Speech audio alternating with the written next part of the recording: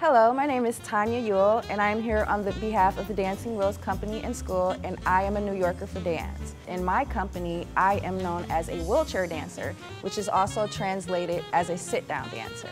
I was not born in a wheelchair, and so it gives me a different perspective on dance and how it can still be beautiful with and without a disability, and how those two things work together in tandem through dance.